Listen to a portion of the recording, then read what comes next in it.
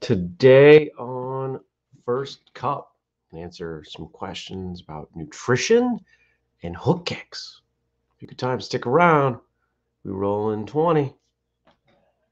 Now I'm gonna get coffee ready. Coffee time.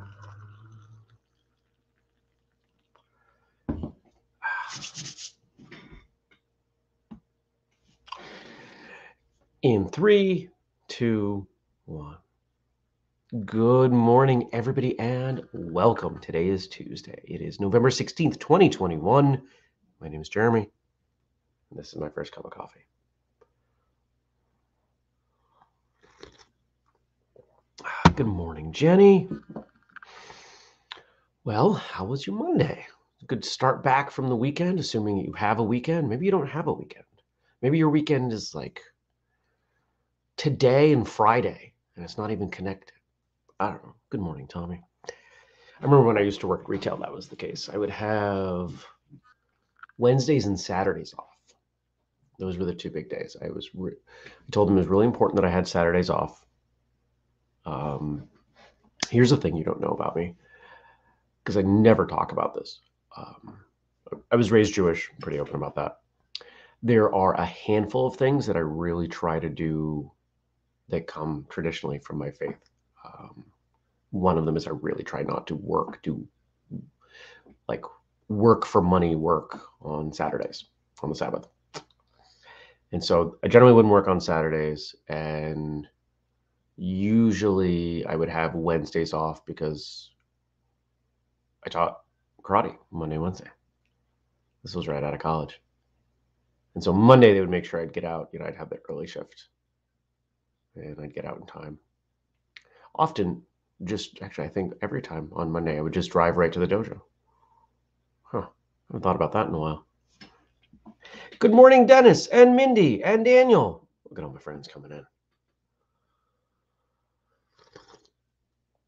Well, yesterday was a weird, crazy, cool day. Uh, after first cup, did did some stuff around the house. Uh, Justin of Martial Journal and his girlfriend were asleep in the bed. When did they get up? Eight, because they're young. Uh, when did we go to bed? Everybody went to bed at like 10, a little after 10. They got up at 8. And so got them out of the house, dropped them off in Burlington. I said, Oh, yeah, bring hats and gloves because it's going to get cold today. And uh, it got really cold overnight. See the snow? Um, yeah, see if I can fix my camera. There we go. So dropped them off and they wandered around Burlington for the day. And I went to the co-working space and had a bunch of meetings and did some work. And then ran back to the airport. And then I went to the range. And I went to the gym. And then I came home and went to bed. I ate and then I went to bed. It's a good day. It's a very good morning, Stacy. Ah, well, in between their client meetings, bunch of bunch of good stuff. Bunch of good stuff yesterday. Tons of ideas. Typically, Justin and I have a meeting every Tuesday morning, and I said, you know what, we're we're here. Let's have it in the car. So we had our meeting in the car while we drove north, and just had a bunch of items. So he, he's got a ton of stuff. He's got to message me because he was the note taker. But most of what we were talking about, how do we get more people to write for Martial Journal? And where are we at with issue two of the print edition. So print edition is on track. And for those of you watching, I, I, I think most of you here should probably be writing for Martial Journal, but that's up to you. Stacy says, y'all blew up my phone. The number of tags and comments on tags from photos from this weekend was insane and Stacy with the 150, 60 photos that she's uploaded. Yeah, it's crazy. Some of those photos were absolutely amazing, Stacy. Hmm. Oh, let's switch that banner up. Bam. Oh, come on, this one. There we go. No, I, I just want this one. I don't want this one anymore. Okay. um, you know, I had I mentioned I went to the range. I, I had some interesting experiences at the range. The teacher that I've been working with, he's been law enforcement and instructs law enforcement in shooting. It sounds like for quite a long time. If you've taught martial arts for a while, or you, honestly you've taught anything, you know that not everyone's a good teacher. Just having knowledge doesn't make you a good teacher. So I'm pretty appreciative that this guy not only has knowledge but is a good teacher, and I could tell right away he was a good teacher. We we this is probably going to be a monthly thing where I go back and then in between I practice what I can. But we were looking at some of what was going on. I'm a fairly new shooter. I'm not shooting great. How do we adjust? And I feel like I get so much out of this because I'm not just learning this skill. I'm learning a whole different way of teaching something with all kinds of things I can pull back in. He's given me drills where, you know, I didn't know how many rounds were in the magazine. Uh, he's got me moving things, moving my hands around. He's got me looking in different spots. It was really cool. And he knows that I do martial arts and that I teach martial arts. He's got enough of an understanding of what martial arts instruction is that he's doing his best anyway to relate things back from what we're doing to what I already know. And so just it's it's a ton of fun. It's scary. There was somebody shooting uh, something very very loud. It was I don't even remember what it was, but it was very loud, and that was going off while I'm trying to focus and do my thing. I was the only other person in the range, and that was that was unnerving. Lots of lots of parallels with martial arts, right? Yeah, you you ever been sparring with someone and another group bumps into you? What do most people do? Most people stop and they're, what's going on? Takes a long time, but eventually you just kind of move away from them, or maybe you push them away and you maintain eye, eye contact. There we go. There's a word with the person you're working with.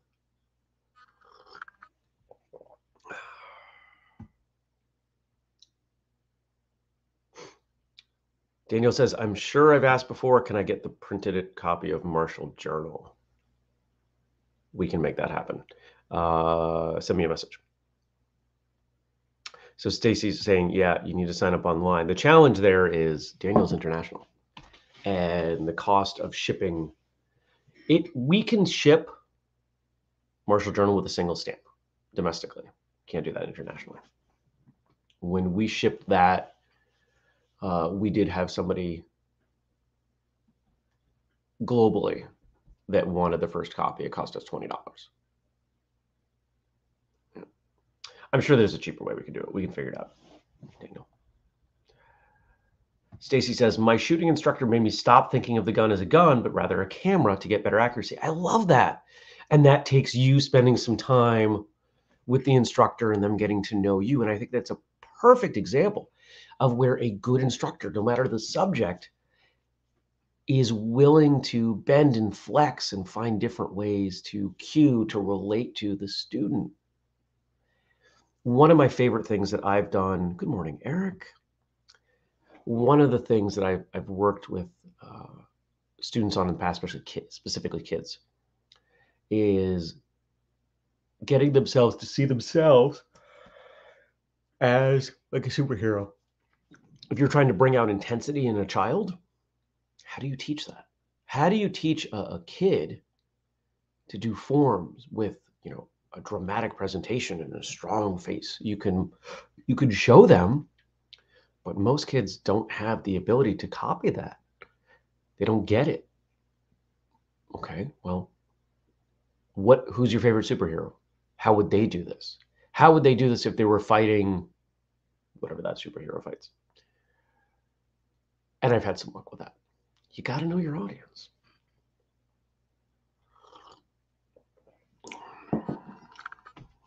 Yeah, please do, Daniel. Stacy says, until that moment, I was afraid of the gun. Guns are scary.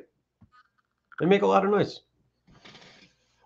There were in, there were situations yesterday where, as I'm trying to get better with my dexterity on the trigger, like there was some some early pulls and some errant shots. I don't mean like in a dangerous way. It's an indoor range. It's pretty darn safe.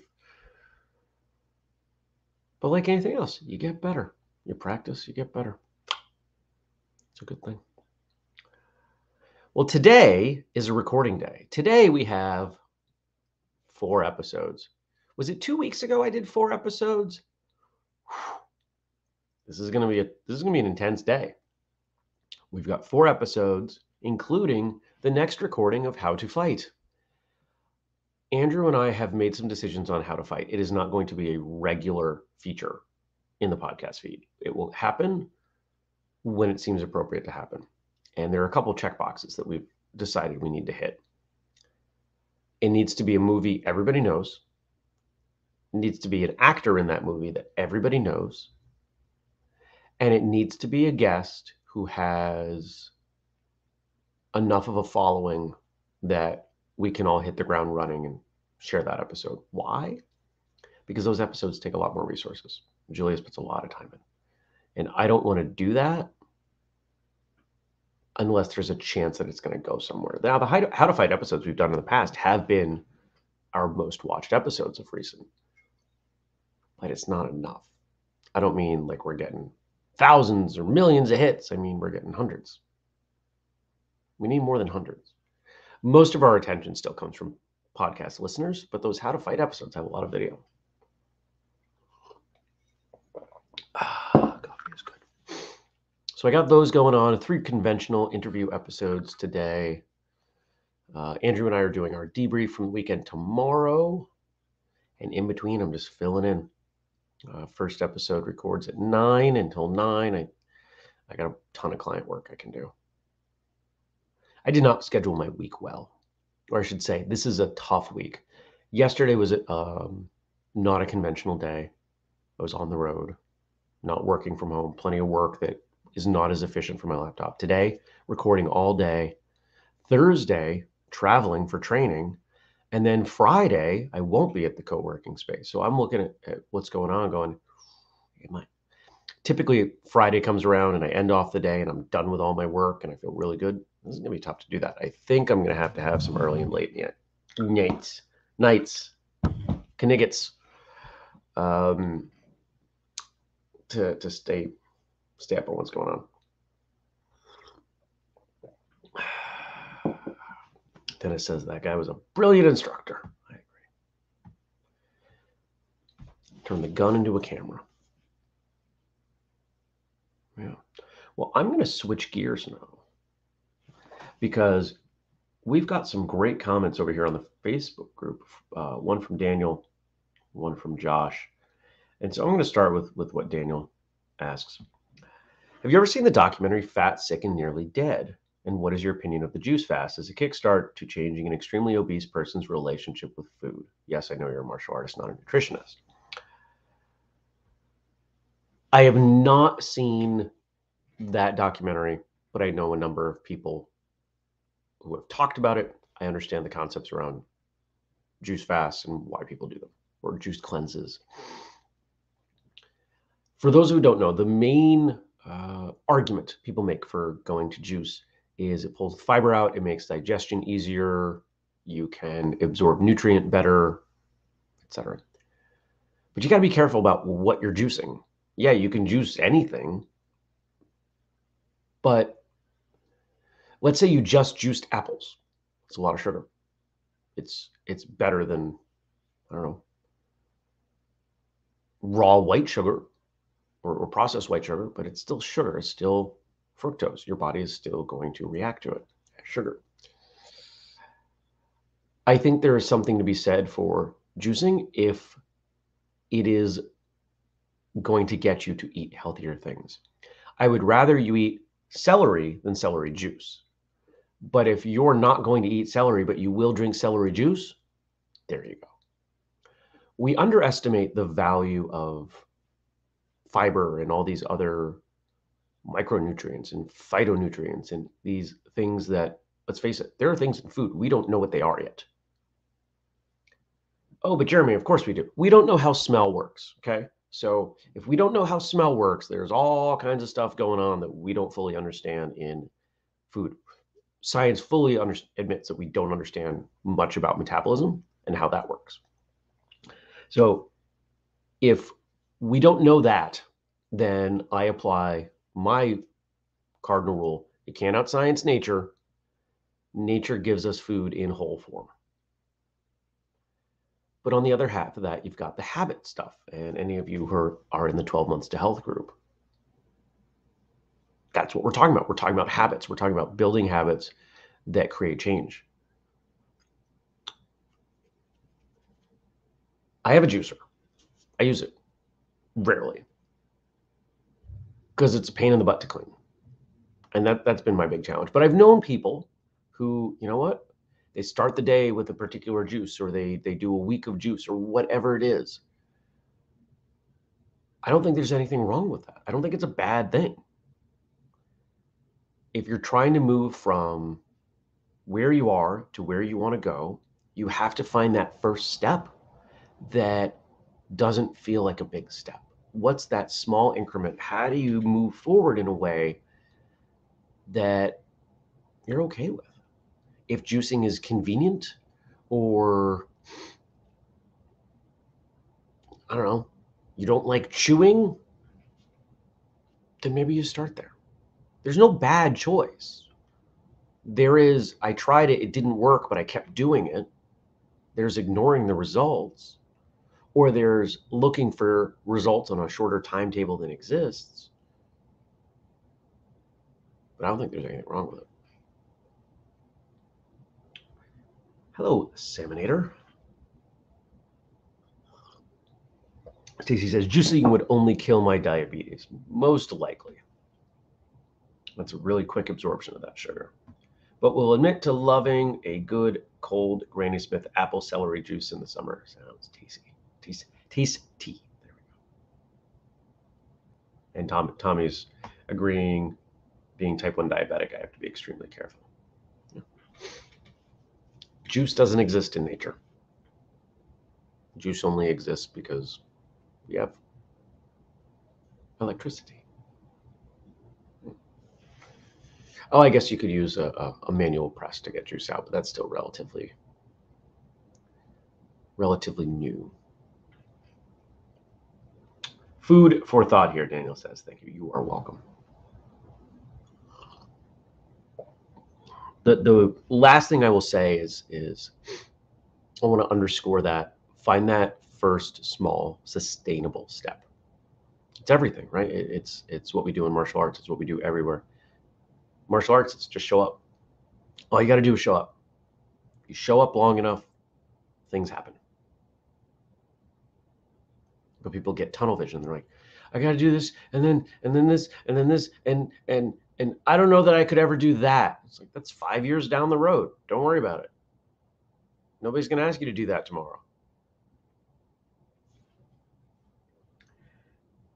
And so our next question comes in from Josh. And he asks a couple things. One of them, he must have missed the memo about faith, about the book Faith, because uh, he works in here. You posted a while back you were working on a fiction book. How is it going? Is it available anywhere? Yes, it's available on Amazon. Uh, called Faith. There you go.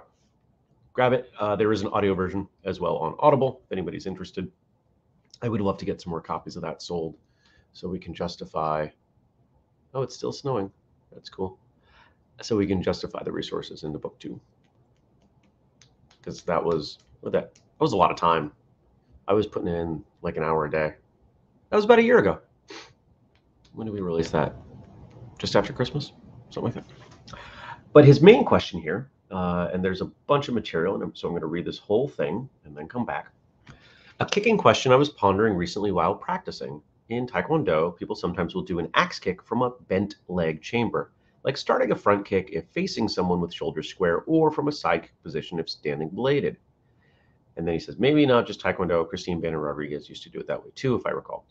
Anyway, from this position, sometimes it gets done in kind of an intermediate between an axe and a hook kick, where the kicking trajectory is slanted at a 45 degree angle. So you're less likely to get your leg tangled up in the shoulder or in the crook of an arm. It sort of looks like a sloppy version of both, to be honest, though I like it in many cases better. Have you ever heard of a name for that way of doing it?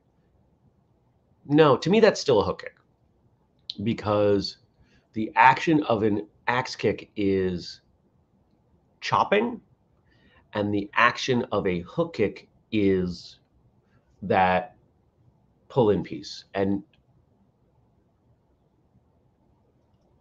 you could throw an axe kick and pull that heel back. To me, that's still a hook kick. The moment the primary action that generates force is the retraction of that heel, that's a hook kick in my book. Now, I'm sure somebody's got a, a, a better name, a different name for it. I don't know that it matters, but I understand what you're saying. And I, I like that kick, and I've thrown that kick. I don't find it to be as practical because of my answers to this next part. Speaking of which, I am curious if folks ever teach hook kicks to parts of the body other than the head, legs, for example. I think the way I was taught both the axe and hook headshots made them sort of impractical from a beginner standpoint if you didn't have the flexibility to pull them off or the ability to set up the kick to put the opponent's body in a position where even if you kick the head, it will move out of the way in a way to allow you to extract your leg and not end up losing balance. Yep. All right, so a bunch of stuff to unpack in there. First off, let's let's go with the the axe versus hook to the head part because that's an easy part. There are things that are cool in, co- in competition that have fairly high risk that I think are not worthwhile in a self defense situation. And those are two of them. There are plenty of ways you can throw an axe kick that are of value, and every one of them involves someone with too long of a stance, which is probably not going to happen on the street. Axe kicks are fun, but the chance of you getting your leg caught up on somebody's shoulder pretty high. Too high to make it worthwhile. You've also got to get pretty close. Same kind of thing with a hook kick, but if you have the flexibility, you are less likely you have far more control over whether or not that leg's going to get bound up. I think hook kicks make a lot of sense to the leg and even the body. Now, quite often, people will teach hook kick. Let's pretend my, my hand here is a foot and my fingers are toes, right?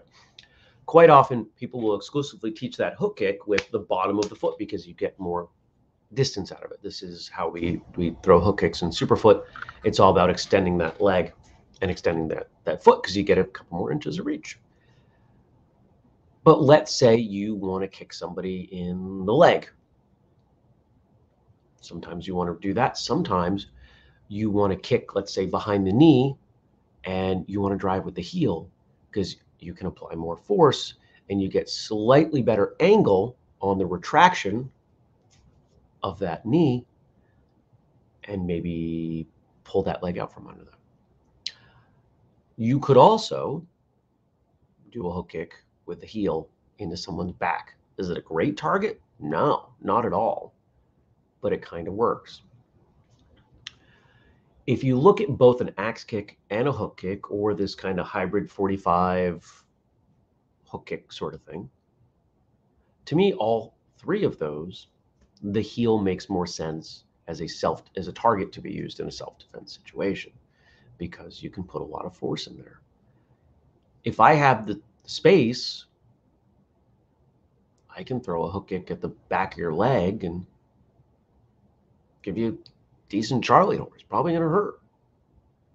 Probably not going to completely change the flow of a, of a self defense situation. But if that's what I got, I'll take it. It's not a lot of point of doing that with the bottom of the foot unless I think I've got the right angle to sweep your leg out from under you, right? To, to knock your balance off. Oh, people are, are talking about the book.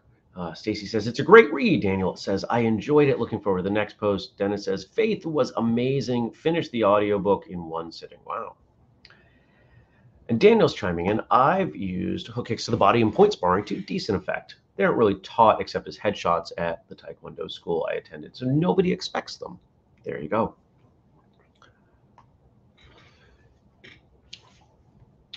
So let's dive back into the rest of the question.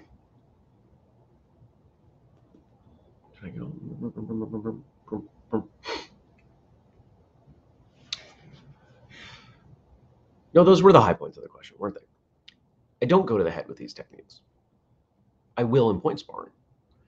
I'm never going to teach. I'm, if, if you said, Jeremy, we want you to develop a self defense curriculum.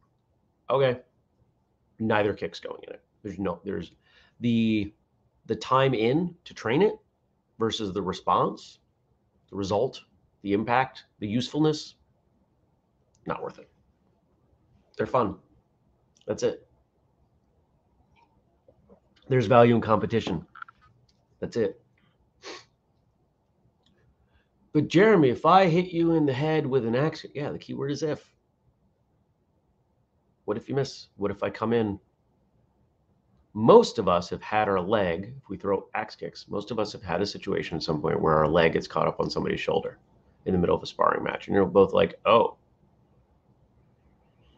well, the dynamic of this exchange just changed dramatically. Because what do you have to do? If you're the person that axe kicks catches, what do you do? And they're on the ground. And if you're not strong enough to do that, you just kind of grab it and you step forward. And now they're on the ground. But they might punch you in the face. Yeah, it's not going to hurt that much. They, they don't have a good relationship to the ground. Their, their stability is off. They're going to fall down. A punch while you're falling backwards is not terribly effective.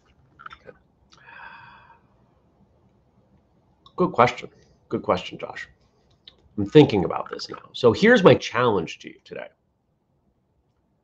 We all know how to throw a hook kick. If you don't, it's the same as a hook punch, just with a foot.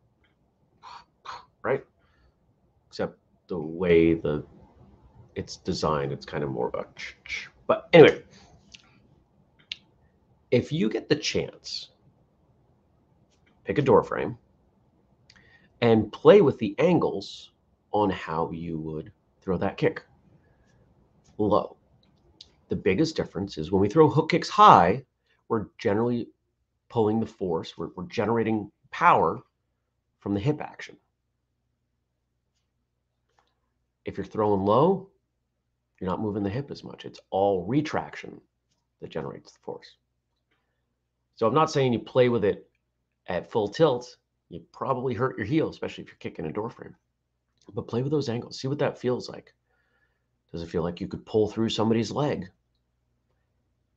If they're stepping down, if they don't have all their weight on their foot, yeah, you definitely can. You can upset people quite a bit, both literally and emotionally, if you catch them before their foot's planted. You got to be careful with it though. and then restomp the groin. Daniel says. Absolutely. Always restomp the groin, as Master Ken would say. All right. It's time. I hope you have a great day. I'm going to go prep for mine, go have a marathon recording session, and I'll see you back here tomorrow. I'm going to leave a spot for you to comment for tomorrow. If you have comments, of course, you can leave them on the Facebook page, facebook.com slash first cup of Jeremy. If you want to support us, we've got the Patreon, patreon.com slash whistlekick. And of course, you can always use the code first cup 15, first cup 15 to get 15% off at whistlekick.com. New website, new website look, slowly dialing stuff in, making some things better, updated the graphics to the newest version uh, for the training programs. So, and the names, they weren't even named right. Still have the old names there. So always something to do. So have a great day, and I will see you back here tomorrow. Take care. Peace.